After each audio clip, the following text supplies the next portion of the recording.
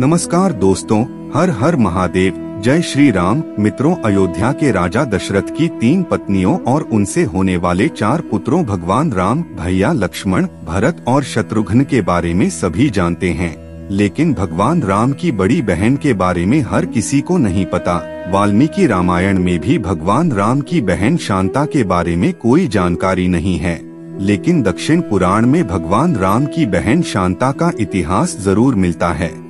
आपको बता दें, वैसे तो इसके पीछे कई कथाएँ हैं, मगर जो कथा सबसे ज़्यादा प्रचलित है वो भगवान राम की। बहन शांता के बारे में तो वो आज हम आपको बताने जा रहे हैं तो मित्रों भगवान राम की इस कथा को आप पूरा ज़रूर सुनना। अगर आप भी भगवान राम को मानते हैं तो भगवान राम की बहन शांता की कहानी यह है कि शांता भगवान राम की बड़ी बहन और माता कौशल्या की बेटी थी।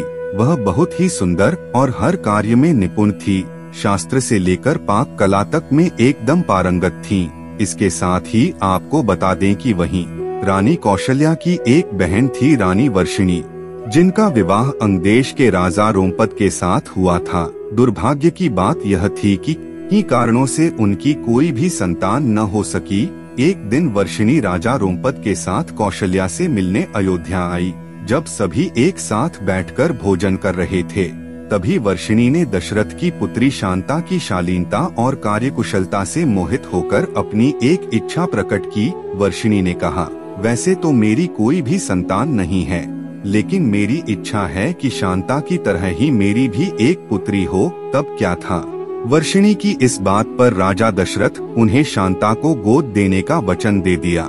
इस प्रकार राजकुमारी शांता अंगदेश के राजा रोमपद की पुत्री बन जाती है। अब राजा रोमपद अपनी पुत्री शांता के साथ हँसी खुशी जीवन व्यतीत करने लगे। तब एक दिन क्या होता है? एक दिन राजा रोमपद किसी काम में इतना खोए रहते हैं कि उनकी चौखट पर आए ब्राह्मण की आवाज़ उन्हें सुनाई ही नहीं देती। फलस्वरूप ब्राह्मण को खाली हाथ वापस लौटना पड़ता है। अब इस बात पर देवराज इंद्र को राजा रोमपद द्वारा किया गया ब्राह्मण का यह अपमान जरा भी रास नहीं आता है।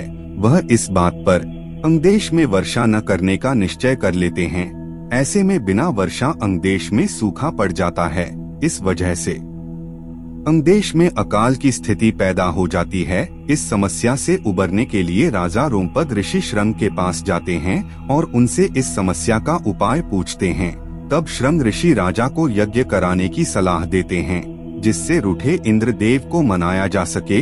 राजा रोमपद ऐसा ही करते हैं, और यज्ञ के बाद अंगदेश में दोबारा से वर्षा होने लगती है।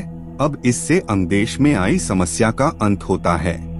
इस बात से ऋषि श्रृंग से प्रसन्न होकर राजा रोमपद उनसे अपनी पुत्री शांता का विवाह करा देते हैं। अब इधर शांता को गोद देने के बाद राजा दशरथ के कोई संतान नहीं थी। इसके लिए वह बहुत ही चिंतित रहते थे।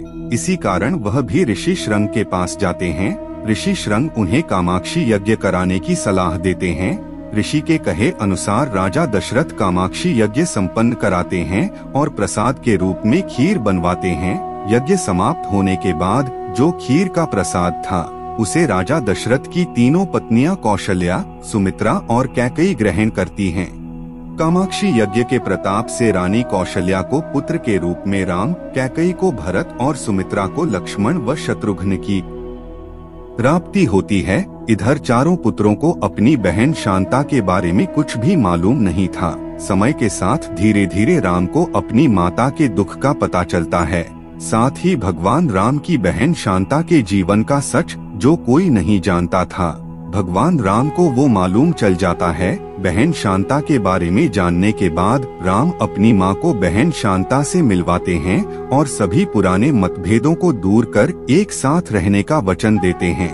तो मित्रों, भगवान राम की बहन की ये कथा आप लोगों को कैसी लगी कमेंट में ज़रूर बताएँ और वीडियो को एक लाइक ज़रूर करें। साथ ही चैनल पर पहली बार आए हो तो चैनल को सब्सक्राइब ज़रूर करें। धन्यवाद। हर हर महादेव।